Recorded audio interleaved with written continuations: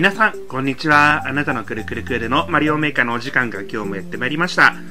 今回はいいねランキングの難しい第2位ですね。プロペラアスレチックス。ベストクリアタイム42秒クリア率8.71%早速遊んでいきましょう。いやー、楽しみ。プロペラを使ったアスレチック。苦手なんだけど、よいしょ。届かないか。やっぱり苦手だな。こは、例えばだけど、こういうのはどう？こういうのは。これもありっていうか、こういうもんなんじゃないの？ダメダメか、これ。これでいける？いけないよね。多分、壁ずりしないと、あ、まあ、いけるのかもしれないけども、くるくるくるにはできないと。えー、そう？しょどうしようか？届いた届いた。結構ギリギリだよね。あー、危ない。これはやり直し用の扉だと思うんで、ビビリのくるくるくるはツタに捕まって真ん中に落ちていきましょう。あ畜生めこれでいい？よーし。上だよね。オッケー。あ、中間だ。お邪魔いたしましょう。いつもプロペラの忘れチェックコースだと最初で詰まるんだよね。なんでだろう。これダメだね。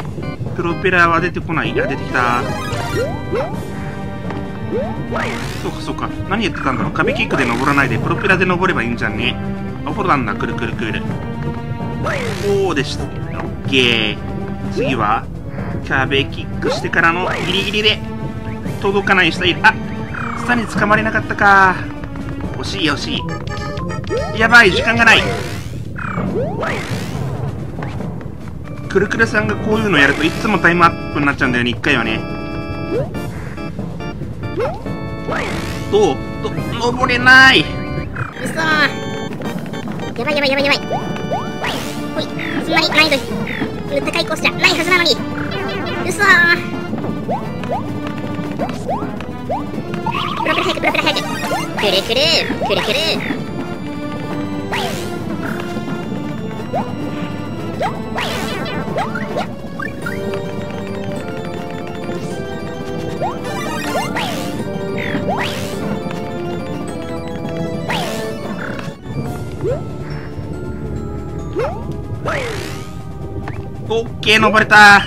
かった。そして中間ポイントゲット。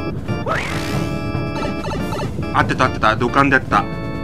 そして、扉にお邪魔します。残り31秒。絶対間に合う気はないと思うんだけども。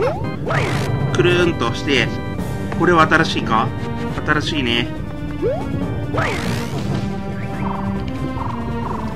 パパー畜生どうするんだ、ここは？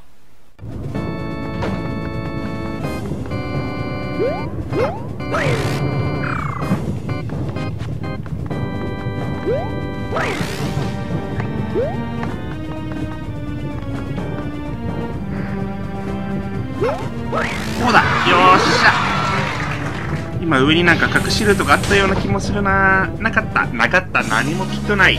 間違いない。プロペラアスレチックコースクリアすることできました。結構難しかったわ。プロペラやっぱり苦手だな。プロペラアスレチックス。ジェームスさんジェームズさんか。よし次のコース遊んでいこう。はい、お待たせいたしました。お次はこちらのコースですね。初代マリオのスキンで、多分、靴マリオを使ったコースなんじゃないかなと思います。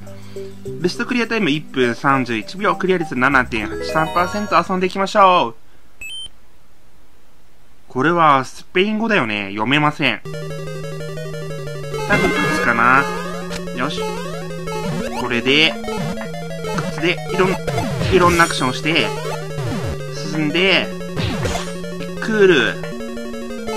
どうしよう。こっちか。これでいい？ここは、どうしようか。一瞬だけ靴を脱いで、一瞬だけ靴を脱いでこっち、を進んでみる。あー、ダメか。特に何もなさそうだからいいや。ヒップドロップがなんか最近下ボタンの反応が悪いな。これを壊して、そうすると鍵をゲット。なるほど。こうやって靴を履いたままやっぱり進んでいかなきゃいけないみたいですね。ここを壊す。はい。今度はメットが右側にファイヤーが出てきて、ボム兵を一掃してくれると。相変わらず扱いがかわいそうなボム兵さん。次は？ほい。今どっから何が出てきた？これに乗るでしょ？乗るよそうするとここの道を壊してくれるので進めるようになると。ついでだから、あのドスンさんって、ヒップでは倒せないか？さすがに無理か。これは破壊できる鍵を持ってるので、お邪魔しマリオからの、狭いな。狭い隙間での、この靴ヒップドロップ、なかなか大変。ここは靴の補充エリアか。了解了解。パウブロックを持ち上げて、やって、ははこれね、こうやって叩いた方が絶対簡単だから。これは普通に叩けば OK でしょ下に落ちて、こうでしょはいいのかな次、次。次どこ行った？左か。そこでまた靴の補充。えーと、どこに行けば、あ、ここ下だ下だクッパージュニアの生光の炎が怖い生光の分際で生意気な。よっしゃーまだ中間か。結構長いですね。あれ？靴が脱げちゃった。くそ敵の攻撃が激しいぞ。敵の攻撃が激しいんだよ。ああ一匹倒そう一匹。ファイヤーマリオじゃなくなっちゃったのが正直めちゃくちゃ痛いけど。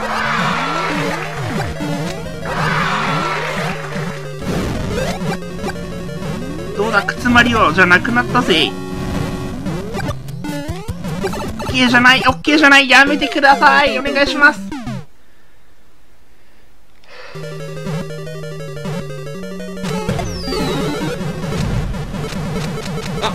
ああああああお願いファイヤー当ててクッパさん炎当ててクッパさんクッパさん早く早く早くあー畜生めよし無事に戻ってくることができましたが今度ははまんないようにしないとなさっきのハマったのは想定外。なんじゃこれは。あ、こんなところにファイヤーがあったのに。さっき気づいてればな。今気づいててもダメだったかな。よいしょ。こいつは倒さないとダメっぽいな、クッパさんな。コースなのに最後に靴を履かないでクッパを倒すっていう。よし、鍵ゲッチュからのか。よし、お邪魔します。ゴールじゃなかった。靴の補充だね。はまらないように気をつけて。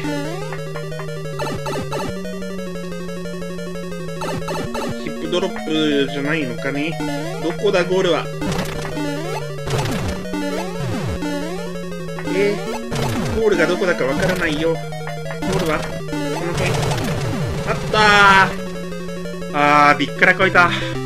最後までドキドキしましたね、このコース。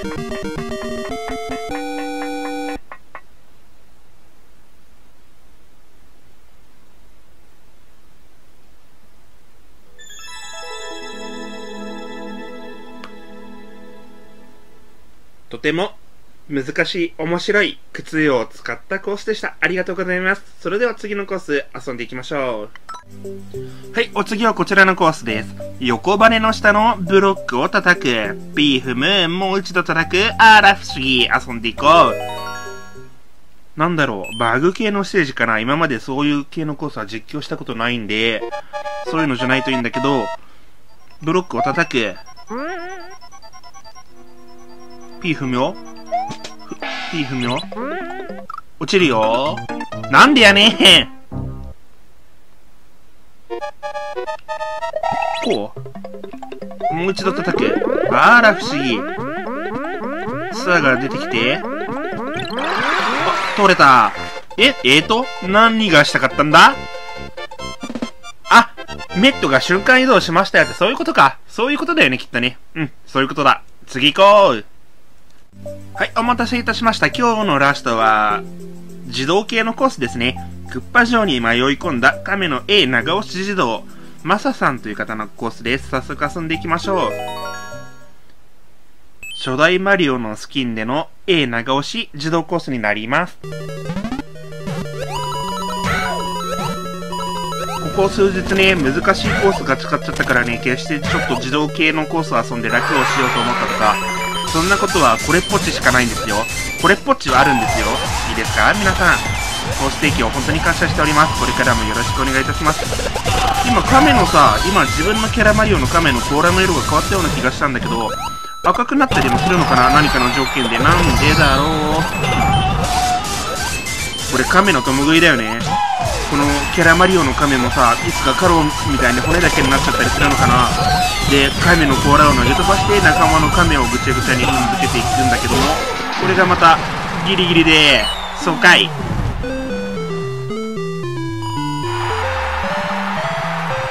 このキャラマリオってゴールした時の音って決まってるじゃないですか。今のノコノコで流れたこの音は何で使われた音楽なんだろう。クッパ城に迷い込んだ亀の A 長押し自動キープ A マサさんのコースでした。ありがとうございました。そして今日はこの辺りで終わりにしたいと思います。また次回のマリオメーカーでお会いいたしましょう。チャンネル登録まだの方、もしよろしければチャンネル登録していってくださいね。コース募集もしてますよ。それでは次回はあなたのコースにくるくるくる。バイバーイ。